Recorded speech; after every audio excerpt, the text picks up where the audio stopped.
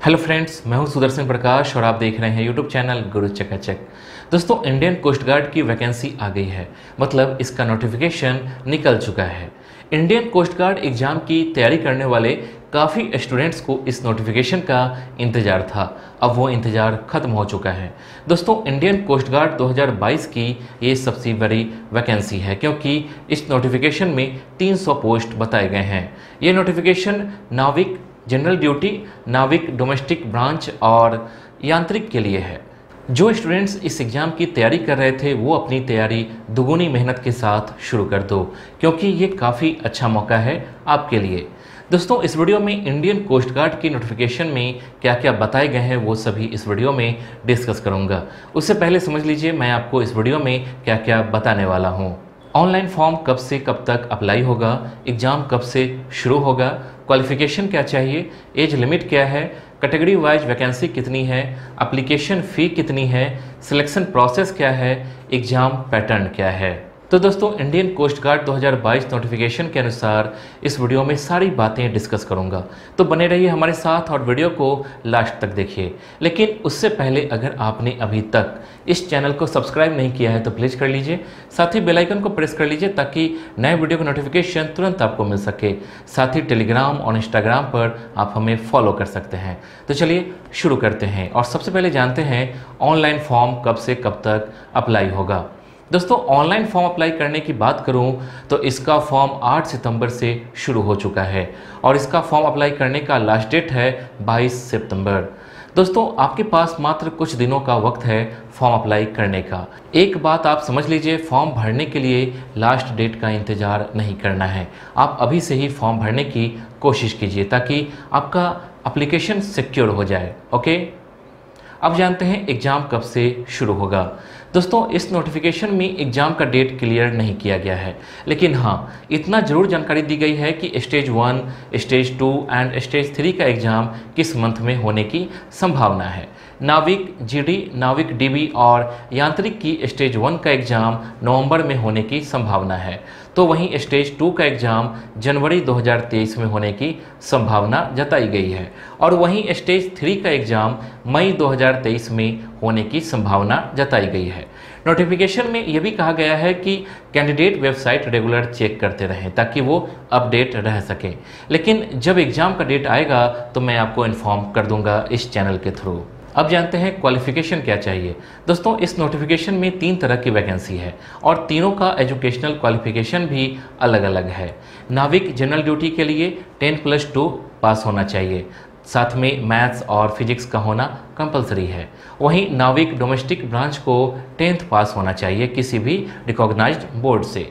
यांत्रिक के लिए आपका क्लास टेंथ पास होना चाहिए या फिर diploma in electrical mechanical electronics telecommunication, radio power और तीन या चार साल का इंजीनियरिंग भी होना चाहिए। अब जानते हैं एज लिमिट क्या है। दोस्तों, एज लिमिट की बात करूँ तो आपकी एज मिनिमम 18 वर्ष होनी चाहिए और मैक्सिमम 22 वर्ष होनी चाहिए। मतलब आपका जन्म 1 मई 2001 से लेकर 30 अप्रैल 2005 के बीच होनी चाहिए। कुल मिलाकर कहा जाए तो 18 से 22 वर्ष के बीच के स्टूडेंट ही इस फॉर्म को भर सकते हैं। ध्यान दीजिए कि ये एज लिमिट जनरल कैटेगरी के स्टूडेंट्स के लिए है। दोस्तों कैटेगरी वाइज उम्र सीमा में छूट भी मिलती है। जैसे एस सी को पाँच साल की छूट तो वहीं ओबीसी को तीन साल की छूट मिलती है। दोस्तों एज लिमिट आपको समझ में आ गई होगी। मुझे लगता है कि इसमें आपको कहीं कोई कन्फ्यूज़न नहीं होगा ओके दोस्तों, मैं आपको इंडियन कोस्ट गार्ड के लिए एक बुक सजेस्ट करना चाहूँगा। ये बुक एस के पब्लिशर्स की भारतीय तटरक्षक नाविक डीबी और नाविक जीडी यांत्रिक सेक्शन वन की है। श्री कृष्ण पब्लिशर्स की ये book Indian Coast Guard DB और जीडी के अंतर्गत न्यू सिलेबस और एग्ज़ाम पैटर्न पर आधारित है। इस बुक में English general knowledge numerology general science और रीजनिंग की है। इस बुक में सभी टॉपिक्स को एग्ज़ाम्पल के साथ समझाया गया है। क्वेश्चन के सॉल्यूशन को आसान भाषा में समझाया गया है। इसके साथ साथ सेक्शन वन के लिए अभ्यास पेपर सेट भी है।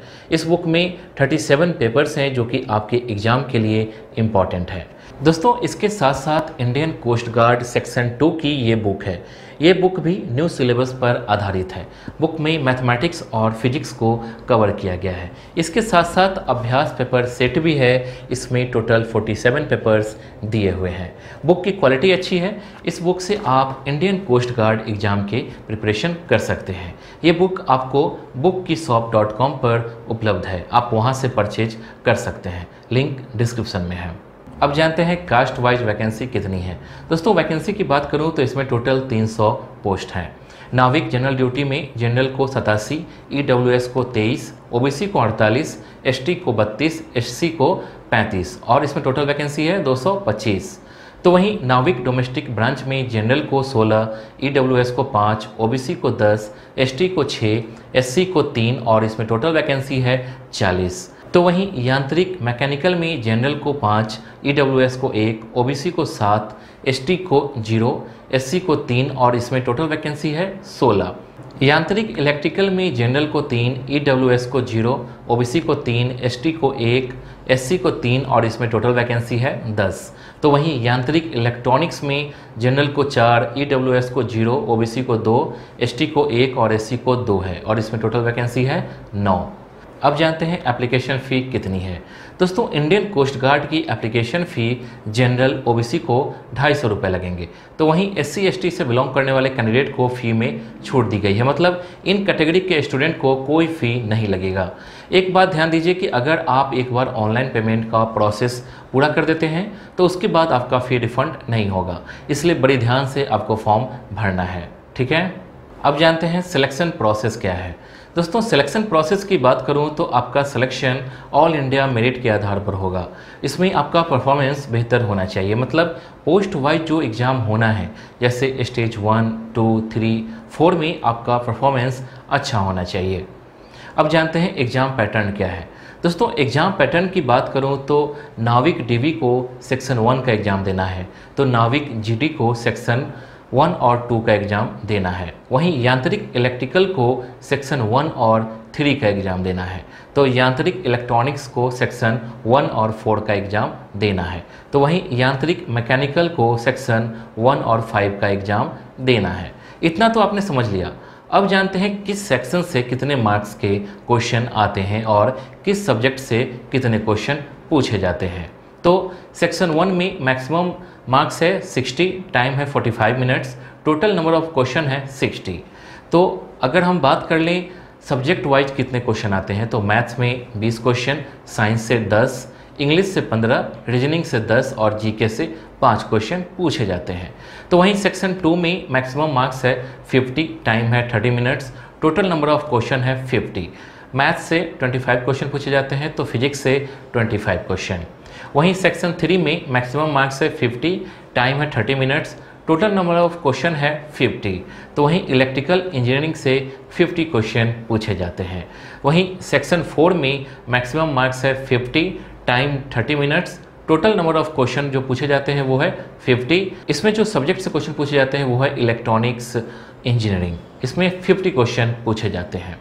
सेक्शन फाइव में maximum marks 50 time 30 minutes total number of questions है 50 तो सब्जेक्ट मैकेनिकल इंजीनियरिंग में 50 क्वेश्चन पूछे जाते हैं।